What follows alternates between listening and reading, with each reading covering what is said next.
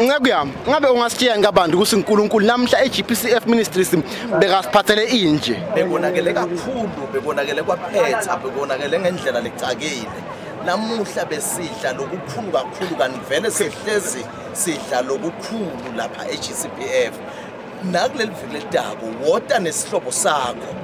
Tindoda itobe tenteka utobe ukhululwa ngegama likajesu emandla nkulunkulu ehlile lapha ekhaya e-GCPF wota nesihlobo sakho nalesigulako nalesicindetelwe nalesinetinkinga impilo yaso ngeke ichubeke ibe njengoba benjalo